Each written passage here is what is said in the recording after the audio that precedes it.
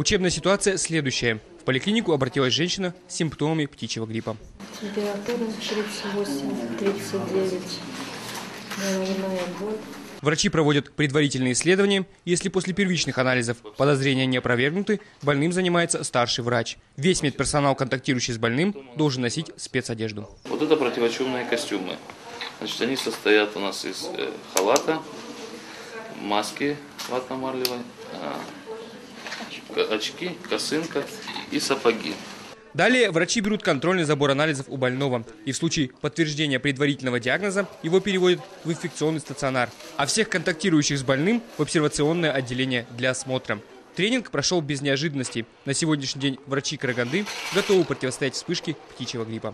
Как победить птичий грипп и что надо сделать, чтобы опасной инфекции не было в нашем городе, мы спросили у жителей Караганды. Мне кажется, наверное, нужно проводить вакцинацию и как бы информировать людей, наверное, больше, чтобы люди знали, чего опасаться именно, чтобы, ну, как знали, как себя вести в, данный, в такой момент. И, конечно, поменьше есть курицы. Денис Рожин, Серик Кабенов, Георгий Копылов, Пятый канал.